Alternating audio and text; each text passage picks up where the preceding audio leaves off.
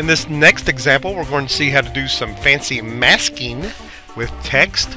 Let's use our Autumn Photo 2 that's in our Text Tricks folder.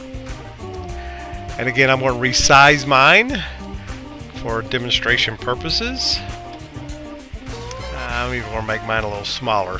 My screen's a lot smaller than yours is. The one you're using in class there, we can see the entire picture now. Again, the text font you choose helps enhance any text effect. On this one, I'm going to go with an elephant text. Elephant, elephant, there we go. And for mine, uh, my example 48 is a good font size. Of course, depending on the size of your graphic, if you didn't resize it, you may want something better. Bigger, I mean. want something bigger, bigger and better.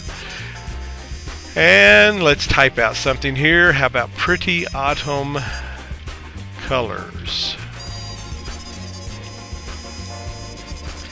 And I'm going to move this around so it actually I want it bigger 96 or 48 wasn't quite big enough I might just use the scale tool instead of trying to play with the font to get it uh, to where it fills up the screen and I'm going to move it over uh, the different part of the screen. So I get a little bit of the sky a little bit and a good bit of the uh, leaves and a little bit of the mountain background there.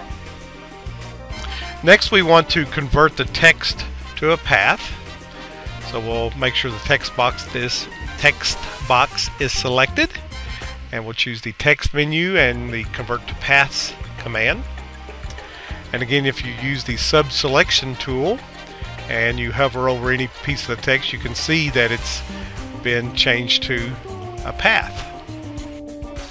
Okay, before we go any further let's check our canvas color. I've gone to the modify menu, chosen the canvas option and choosing the canvas color command and we want to make sure it's set to white if it's not already. It may be set to transparent so you may have to change it to white. And then in our layers panel, let's choose both the text and background layers. I'm holding down the shift key while I select those, so both of them will be selected.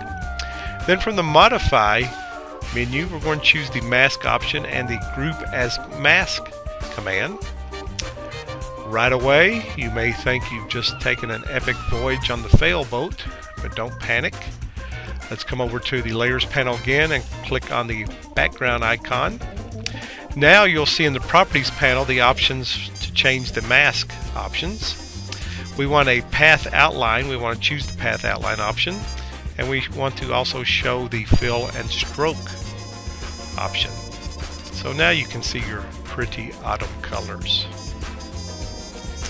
You could also enhance this uh, text a little bit more by adding a filter, in particular the bevel filter again could use a raised embossed or any other ones that you might play around with till you get a nice looking uh, text effect.